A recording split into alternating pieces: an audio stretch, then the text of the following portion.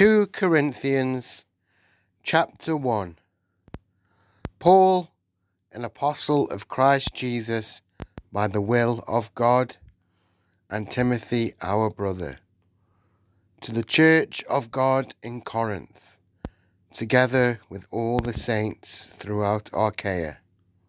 Grace and peace to you from God our Father and the Lord Jesus Christ. Praise be to the God and Father of our Lord Jesus Christ, the Father of compassion and the God of all comfort, who comforts us in all our troubles, so that we can comfort those in any trouble with the comfort we have we ourselves have received from God. For just as the sufferings of Christ flow over into our lives, we also, through Christ, our comfort overflows. If we are distressed, it is for your comfort and salvation. If we are comforted, it is for your comfort, which produces in you patient endurance of the same sufferings we suffer. And our hope for you is firm, because we know that just as you share in our sufferings, we also, so also you share in our comfort.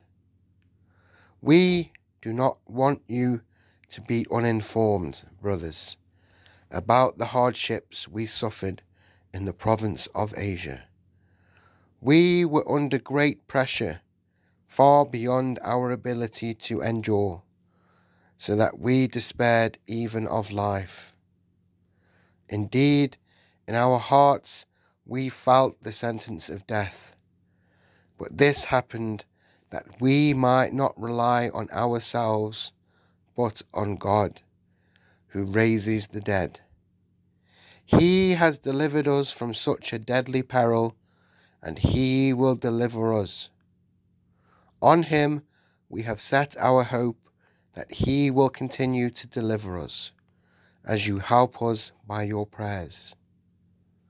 Then many will give thanks on our behalf for the gracious favour granted us in answer to the prayers of many. Now, this is our boast. Our conscience testifies that we have conducted ourselves in the world, and especially in our relations with you, in the holiness and sincerity that are from God. We have done so not according to worldly wisdom, but according to God's grace. For we do not write to you anything you cannot read or understand. And I hope that, as you have understood us in part, you will come to understand fully that you can boast of us just as we will boast of you in the day of the Lord Jesus, because I was confident of this. I planned to visit you first, so that you might benefit twice.